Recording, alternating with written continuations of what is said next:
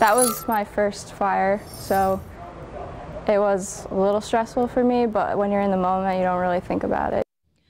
Well, we know this first responders really put their lives on the line every day. And tonight, in our special report on Connecticut's bravest, Channel 3 New London Bureau Chief Kevin Hogan is introducing us to several heroes who risked their lives to save the life of an elderly woman.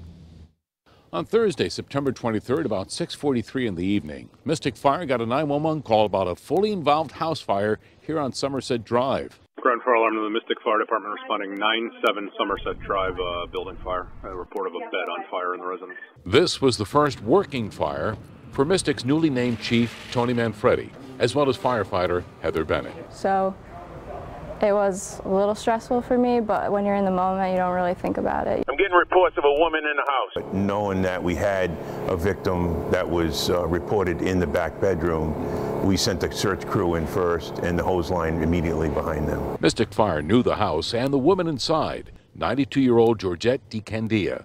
She had a lift chair on the front stairway, so a decision was made to send the rescue team through the back door and into thick, choking smoke. You can't see your hand in front of your face, um, contrary to you know what you see on TV and things like that. Our team had some walls and barriers in front of us, and we overcame every single one of them as a team. I heard my fellow firefighters calling, we found her, we found her.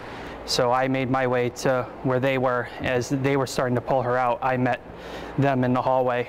We brought her out of the building, um, started CPR outside, and uh, turned her over to Mystic River Ambulance. As EMTs rushed the 92-year-old woman to L&M Hospital, they got a pulse, but she expired the next day from her injuries.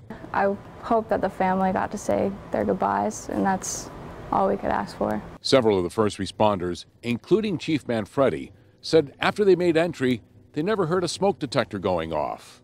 Also, they later determined that the cause of the fire was improperly discarded smoking materials. Tonight, those firefighters who answered the call are all being called heroes for risking their own lives to save others. With the mobile newsman Mystic, Kevin Hogan, Channel 3, Eyewitness News.